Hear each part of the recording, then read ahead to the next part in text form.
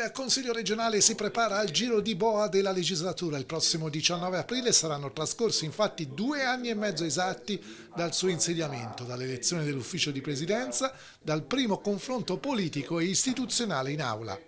Nelle ultime sedute passa all'unanimità la proposta della Commissione Cultura, quella che vuole introdurre un quarto d'ora di lettura libera a scuola.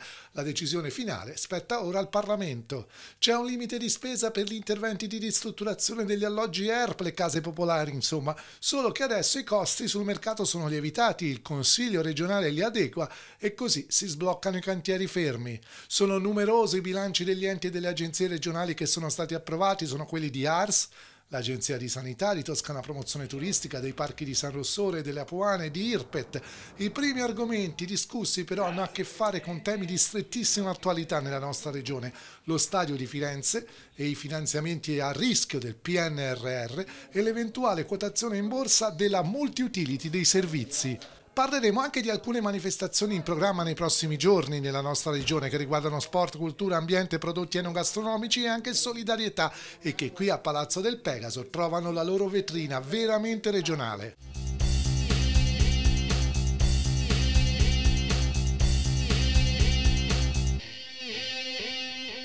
C'è una legge su cui adesso il Consiglio regionale della Toscana sollecita il Parlamento ed è quella che introdurrebbe un periodo, un quarto d'ora, 20 minuti di lettura libera da parte di ogni studente nelle nostre scuole. La proposta parte dalla Commissione Cultura e Istruzione del Consiglio regionale. La prima firmataria è proprio la Presidente Cristina Giacchi, ma in dettaglio cosa chiedete? Si chiede al Parlamento di approvare una piccola modifica della legge del 2020 sul, che recava il, come titolo disposizioni sulla promozione della lettura e che vorrebbe introdurre ogni giorno a scuola almeno 15 minuti di lettura libera, uno spazio libero per recuperare con la lettura un rapporto diciamo, più legato alla passione che all'obbligo obbligo. Purtroppo i nostri ragazzi spesso leggono solo per obbligo e questo li allontana dalla possibilità di godere di questa attività eh, nel senso più pieno e che, che può offrire. E, ehm, devo dire che ci ha invitati a questa riflessione una ricerca pubblicata dal Sole 24 Ore nel 2022 sulla base della quale si dimostrava che durante il lockdown il 51% dei ragazzi tra 11 e 18 anni aveva aumentato il numero di libri letti. Questo ci ha fatto pensare che avendo meno distrazioni con le condizioni diciamo, di contesto adeguate, un rapporto con la lettura non era inviso ai ragazzi, era anzi eh, veniva coltivato. Dicono tutti sì al voto finale, così come tutti erano stati d'accordo in commissione. Del resto, e sono dati pubblici, in Italia quasi la metà degli studenti tra i 6 e i 17 anni non ha letto nemmeno un libro al di là dei testi scolastici. È un'esperienza che già c'è stata in Italia, in Lombardia, insieme alla Norvegia, hanno visto che leggere per 15 minuti, perché si parla di 15 minuti per, per ogni mattina però, in classe, qualunque cosa, perché può essere un libro, una rivista, un fumetto, però è una lettura silenziosa che ogni alunno o alunna fa e anche l'insegnante. Serve a che cosa la lettura? La lettura serve a ampliare il vocabolario, sicuramente perché oggi sappiamo anche che è molto ridotto il vocabolario dei giovani, quindi a comunicare meglio il nostro pensiero. Inoltre, secondo me, secondo anche eh, diciamo, chi studia queste cose, serve a sviluppare il pensiero critico. Se non è la lettura a svilupparlo, chi può essere?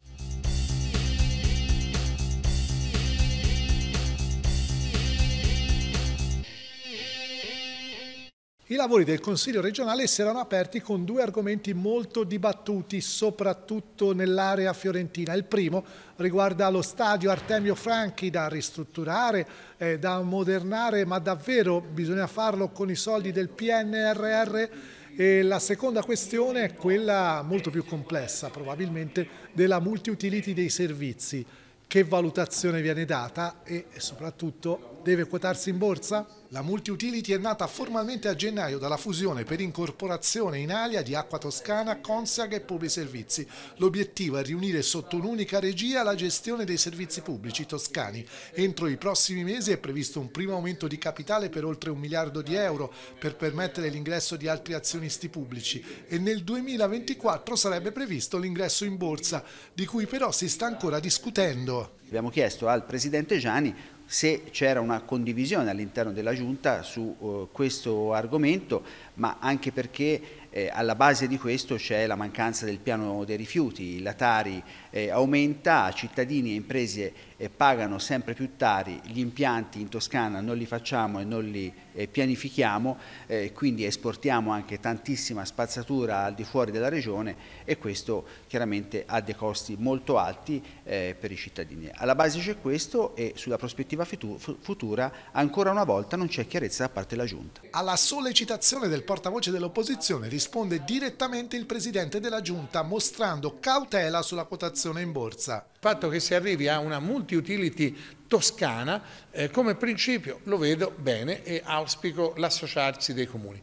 Poi se questa deve essere quotata in borsa o deve essere mantenuta dai comuni insomma, sarebbe troppo invadente come regione da parte mia, questi sono specifici rilievi eh, sulla gestione in cui è bene che eh, i comuni abbiano la loro autonomia di indirizzo nel momento in cui realizzano una multi-utility. Lo stesso Gianni interviene anche sui lavori per lo stadio di Firenze, un botta e risposta con il consigliere Scaramelli. Noi siamo convinti che questi interventi debbano essere effettuati dai privati, per questo abbiamo interrogato il Presidente della Giunta per comprendere la propria opinione per far capire che se verranno ridiscussi le risorse del PNRR è corretto e doveroso che non vengano utilizzati ulteriori soldi pubblici, si lasci spazio ai privati per fare questi interventi, le risorse pubbliche vengano invece destinate per dei settori che secondo noi hanno maggiore necessità, penso alle scuole, penso al sociale, penso ovviamente alla cultura e allo sport, ma quello sì diffuso dove tanti ragazzi e tanti giovani fanno attività sportiva non soltanto a Firenze ma anche in tutta la Toscana. Quindi per noi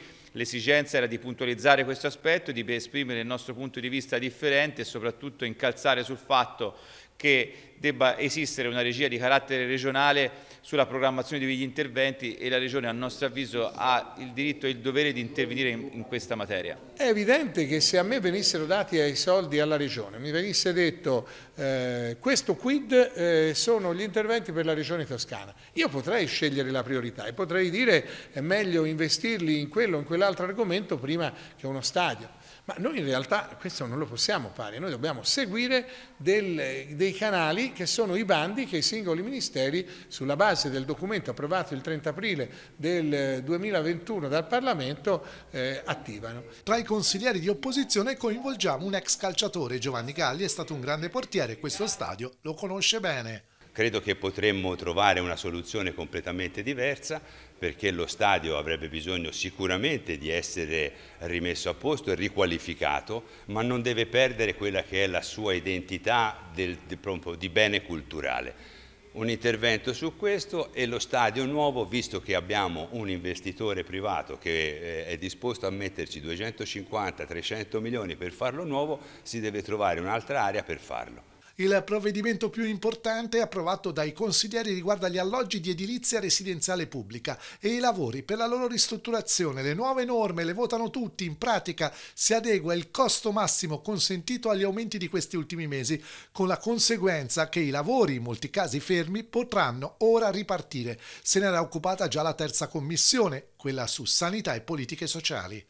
Questo limite di costo a causa dell'inflazione diventava ogni anno eh, troppo basso e quindi faceva sì che poi non si trovavano le ditte per fare i lavori rallentando eh, l'adeguamento di alloggi ERP. Noi sappiamo quanto sia importante eh, la ristrutturazione dell'alloggio e quindi dare una risposta ai nostri cittadini. Con questa legge diciamo che la Giunta può eh, ovviamente rispettare i limiti nazionali che ci possono essere a partire dal decreto del 94, ma qualora vi è un aumento dei prezzi, può usare come limite massimo il prezziario regionale che dallo scorso anno vede un adeguamento dei prezzi non solo una volta all'anno ma anche all'interno dell'anno e che quindi è aggiornato su quello che è l'andamento inflattivo. Dicevamo, sono tutti d'accordo i consiglieri, proprio come era accaduto già nel confronto all'interno della Commissione. Eh, sì, siamo sostanzialmente favorevoli dobbiamo eh, anche lì comunque fare delle, eccepire alcune cose in quanto mm, in commissione spesso abbiamo parlato delle case popolari, di come eh, il denaro potrebbe essere riciclato eh, vendendo determinati alloggi per poter mettere a regime eh, altri che magari sono fermi soltanto perché devono essere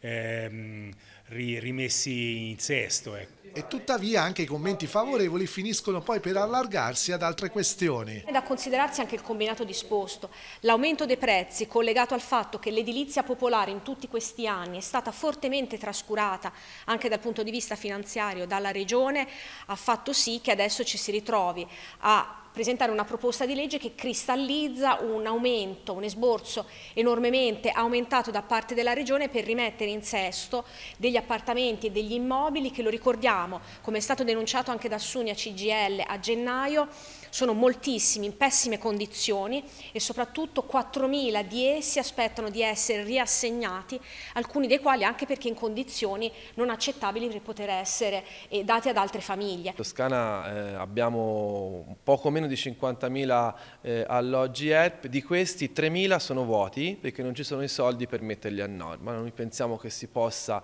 intervenire vendendo un po' di alloggi popolari a chi già ci sta dentro, ovvero dandogli la possibilità di riscattarli, con quei soldi si possono mettere a norma gli oltre 3.000 alloggi di edilizia popolare pubblica che non sono eh, sul mercato e che quindi non possono essere messi a disposizione delle migliaia di toscane e toscani che invece hanno diritto a entrare dentro quegli alloggi. 3.000 alloggi vuoti significa circa 10.000 toscani che avrebbero diritto a una casa popolare e che non la possono avere perché non ci sono i fondi a sufficienza per ristrutturare gli alloggi già presenti. Nella sesta commissione era stato già votato il bilancio dell'Agenzia regionale di sanità che adesso passa anche in aula, lo vota però solo la maggioranza. Ok anche i conti dell'IRPET, l'Istituto di Statistica e di Ricerca Economica della Toscana e a quelli di Toscana Promozione Turistica alla vigilia di quella che potrebbe essere finalmente una stagione d'oro oro per la nostra regione. Già il 2022 era stato eccellente sotto il profilo turistico dopo la pandemia, adesso si preannuncia una crescita superiore al resto d'Italia, oltre il 13% in più, sia negli arrivi che nelle presenze. Di tutti questi temi parleremo meglio venerdì prossimo, approfondendo ogni singolo bilancio di enti e agenzie. Adesso però le questioni economiche non solo dei parchi delle Apuane e di Migliarino San Rossore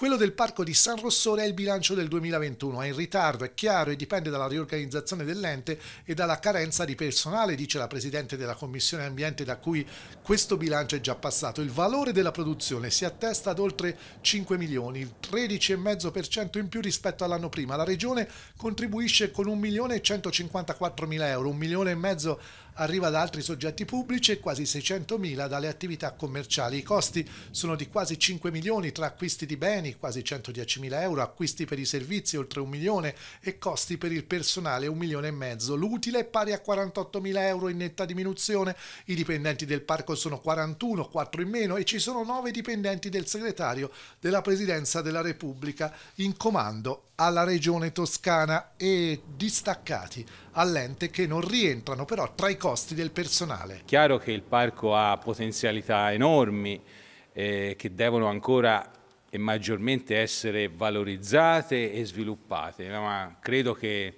la Presidenza Bani per questo stia dando segnali importanti di dinamismo, apportando anche nuove, nuove idee che nel futuro prossimo sicuramente faranno fare al parco un salto di qualità, quello di cui c'è bisogno perché il parco è un bene, è un bene di tutti, è vero, ha una, un pregio anche naturalistico, ambientale e questo va protetto, però è anche un patrimonio che può essere maggiormente fruito ecco, dai, dai cittadini, dalle, dalle persone. Al momento del voto sono contrarie le opposizioni con motivazioni diverse. Forse il sistema dei parchi regionali andrebbe ripensato. Andrebbe ripensato perché c'è una diminuzione dell'investimento, dell'impegno economico da parte della Regione Toscana, che eh, fa pensare anche dal punto di vista dell'approccio che la Regione Toscana intende dare a questi eh, riferimenti così importanti per quanto riguarda il nostro territorio, che si va ad aggiungere in un quadro già di difficoltà perché il venir meno delle province aveva già di per sé ridotto quello che era l'impegno economico e che eh, ulteriormente aggrava Un'altra questione sul quale sono intervenuto a più riprese durante la discussione sia in Commissione quarta che in Consiglio regionale e che è la difficoltà dei versamenti delle quote da parte dei comuni che fanno parte della comunità del parco. C'è anche una sottolineatura particolare. Noi vogliamo verificare una cosa che verificheremo nei prossimi giorni, nelle prossime settimane, c'è un patto tra eh, il Quirinale, eh, quindi la Presidenza della Repubblica e il Parco di Migliarino, Massasciuccoli e San Rossore che eh, riguarda la tenuta di San Rossore che è all'interno del parco e prima era tenuta eh, del Presidente della Repubblica che prevedeva che il Quirinale versasse alla Regione Toscana per la gestione della tenuta 4 miliardi e 200 milioni di vecchie lire l'anno, che equivalgono a 2 milioni di euro. In realtà la Regione Toscana versa al eh, parco circa 800 mila euro l'anno. Quindi noi vogliamo capire se quei 2 milioni continuano ad arrivare dal Quirinale e poi la Regione li trattiene, anziché per San Rossore, nella eh, pancia eh, del bilancio regionale oppure se quei soldi non arrivano. A maggioranza i consiglieri dicono sì anche al bilancio del Parco delle Apuane, le cifre qui sono più basse, 1,8 milioni il valore della produzione, però più con i contributi della regione e altri enti pubblici aumentano lievemente i costi che arrivano a circa 1,7 milioni sul ritardo con il quale vengono discussi e approvati questi bilanci, però sale di tono la polemica. Sicuramente la regione toscana non può continuare ad approvare bilanci in ritardo, in ritardo di tutti i suoi parchi, dovrebbe veramente porci un pensiero, un'attenzione, una programmazione e arrivare a valorizzarli, mm, perché altrimenti così sono solo mh, mm, organismi che non, che non, servono praticamente a niente, servono solo a perdere dei soldi e, e quindi bisogna pre prendere una decisione, o si finanziano o, o, o si cambiano le persone, perché eh, qualcosa vuol dire che non funziona. Altri tre argomenti di attualità hanno animato il confronto in questi giorni durante i lavori del Consiglio e la maggioranza ha bocciato tre mozioni, tre documenti delle opposizioni. Uno proposto da Elisa Tozzera sul centro di permanenza per gli impatri. Si chiedevano iniziative perché si realizzasse. L'altro, del consigliere Landi, esprimeva una dura condanna contro i vandalismi di ultima generazione sui palazzi storici e istituzionali, anche qui fuori. Lo ricorderete a Palazzo del Pegaso. La condanna è condivisa, ma da alcuni gruppi sono arrivati segnali di apertura al dialogo sui temi che stanno dietro alla protesta. Infine, sulla questione del pronto soccorso era intervenuto il consigliere Petrucci con una propria mozione, respinta anche questa. Approfondiremo questi temi tra sette giorni.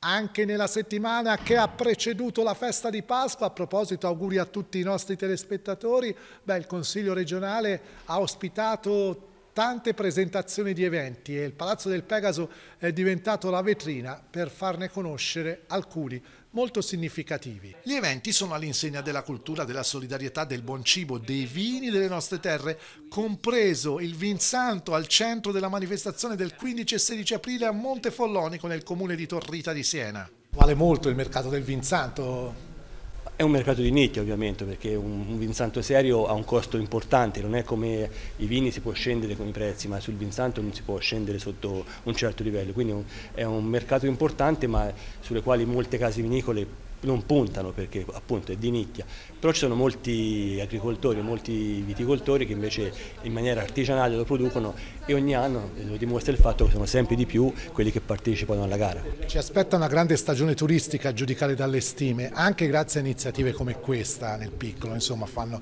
comunque attrazione. Siamo pronti? Siamo prontissimi, la Toscana è pronta ad accogliere eh, centinaia di migliaia di turisti da tutto il mondo, lo fa con un modello, quello della Toscana diffusa, eh, che fa conoscere quanta bellezza ci sia in ogni singolo territorio. Spesso i turisti arrivano nella nostra regione per le grandi città d'arte eh, e in realtà poi conoscono, apprezzano e poi ritornano perché conoscono i nostri piccoli borghi, eh, la proposta non solo turistica ma anche enogastronomica importante che la Toscana è in grado di offrire a tutto il mondo. La stagione del Teatro Aurora di Scandicci è stata record, 44.000 presenze, adesso una serata speciale il 15 aprile c'è Stenterello, il ricavato andrà in beneficenza al progetto di Casa Marta della Fondazione Il Cuore si scioglie. Il Teatro Aurora per Scandicci ha un grande significato, è il teatro dove lo scandicese va per stare anche